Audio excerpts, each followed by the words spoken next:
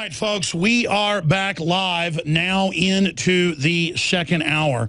And I want to open the phones up so you can uh, give us your take on the death of mainstream media, the death of state-run media. Now, CNN, MSNBC, New York Times, they're all dead now. They admit no one listens to them. They can't cause a debate. They can't stir any discussion. The Pentagon, the White House bemoans that things like DrudgeReport.com, Infowars.com are actually able to shape debate, get people to actually look at certain topics. Uh, we had Bill Maher on Friday freak out and attack Matt Drudge and say how dare him be able to get people to look at certain news items and bemoaned that the reason we can't fix America is because of all the horrible stuff that Matt Drudge is linking to. That shows how they've literally gone to the throwing fits. Throwing fits over the fact that their audiences are dwindling. The problem is there's still a good audience for sitcoms, dramas, children's cartoons, entertainment, NFL football. And that's where you've got the anti-gun, pro-Obamacare, anti-family garbage. And there's an article that just went up on Infowars.com by Paul Joseph Watson with a video report titled Obama Seizes Control of Late Night Television. And when you go into the article, Watson breaks down the recent replacement of Jay Leno with Obama cheerleader Jimmy Fallon as part of a White House coup d'etat to take control of late night television. With more and more young Americans deserting news networks and getting their information and opinions from late night comedy discussion shows, the establishment is moving into using the entertainment industry as its primary conduit for state propaganda. Distrust in the institution of television news is hovering at an all-time low which is why one of the few places left with the White House to elicit a sympathetic response to its agenda and talking points is cozy, make-believe world of late-night television. While Barack Obama is pursuing a chillingly dictatorial political agenda based around executive tyranny, Jimmy Fallon is helping to um, massage Obama's image as a down-to-earth, fun-loving guy that you can trust. While Jay Leno savaged Obama in his final weeks as host, one of Fallon's first acts was to afford Michelle Obama the platform on The Tonight Show to push Obamacare talking points. Fallon even once gushed that President Obama booked himself.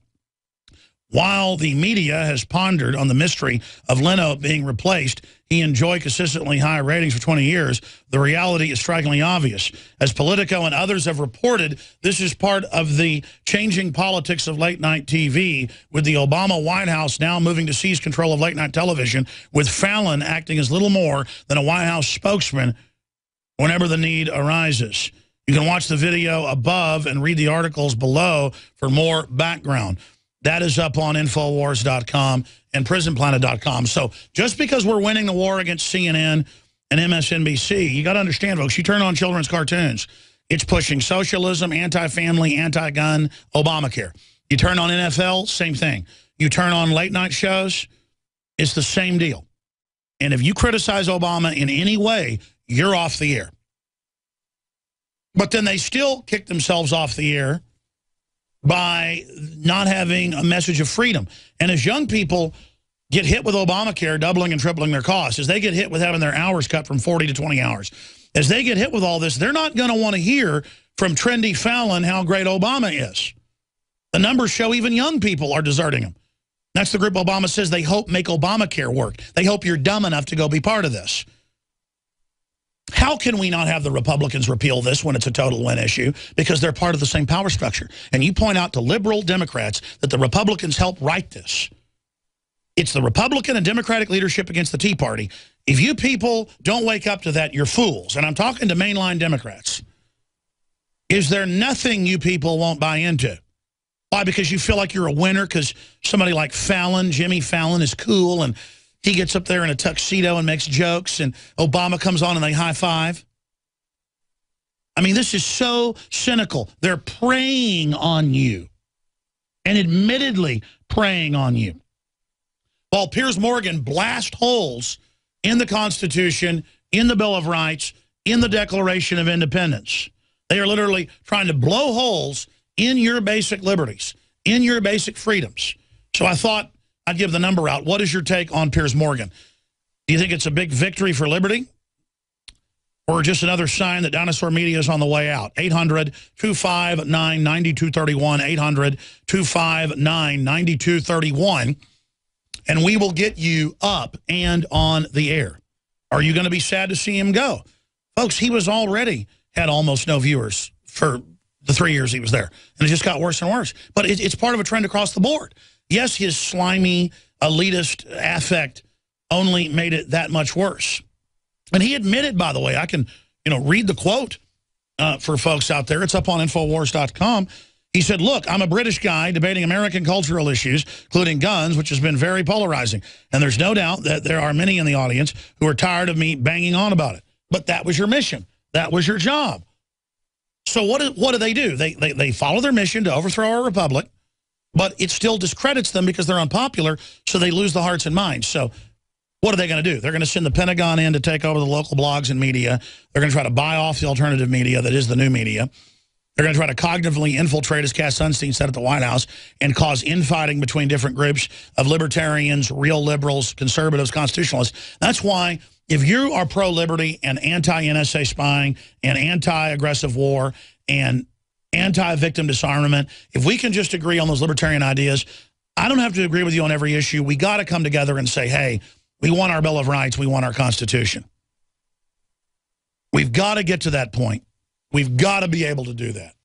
We've got to be able to come together and and and admit that the Republican and Democratic leadership at the top are working together to systematically get rid of checks and balances for offshore corporate interests that have seized much of the nation at the highest levels and are literally extracting us, as Dylan Ratigan said.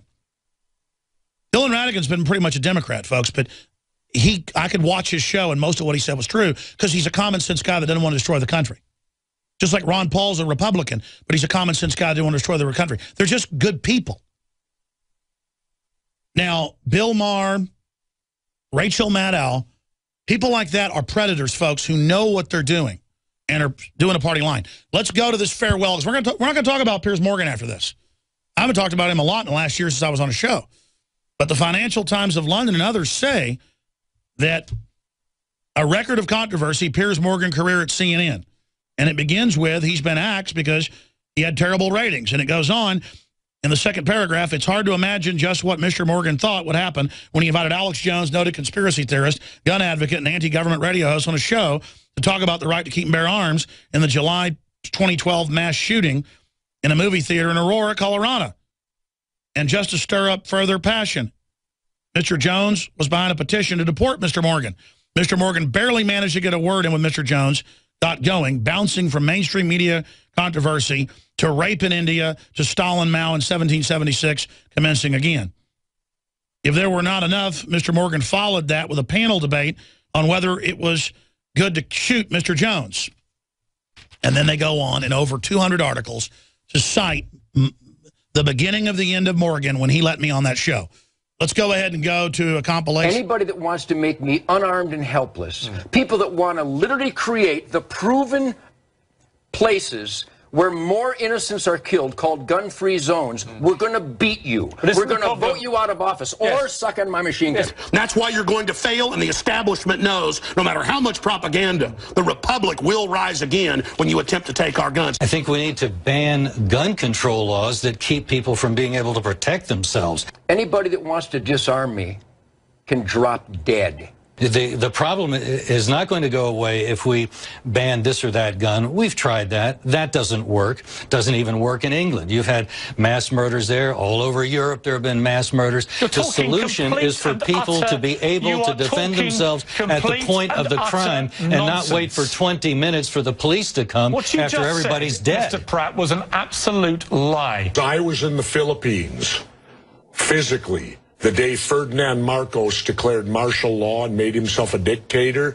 And the first thing that dictator did, he gave the people of the Philippines two weeks to turn in all their guns or it was the death penalty. Now, why would a dictator do that? Why would he make his number one priority when he took over as dictator to disarm the public? My family in the Texas Revolution against Santa Anna, my family was at the core on both sides starting that because Santa Anna came to take the guns at Gonzales, Texas. Piers, Don't try what your ancestors did before. Why don't you come to America? I'll take you out shooting. You can become an American and join the Republic. You finished? America is not the the Wild West that you are depicting. We only have the problem in our cities and, and, and unhappily in our schools where people like you have been able to get laws put on the books that keep people from being able to defend themselves. I honestly don't understand why you uh, would rather have people be victims of a crime than be able to defend themselves. It's incomprehensible. You're an unbelievably stupid man, aren't you? I, it seems to me that you're morally obtuse. You seem to prefer being a victim to being able to prevail over the criminal element. I'll All tell right. you what, Piers. I have a conceal and carry license. Had I been in there, I would have taken this guy out before he could have killed that many people. What a ridiculous argument. You have absolutely no Hey, bye-bye, Redcoat. coherent argument Don't let the whatsoever. door You don't hit on your big you don't- old you fat have baboon no booty. give a damn, do you, about Bye-bye, the gun murder Piers. rate in America? Bye-bye.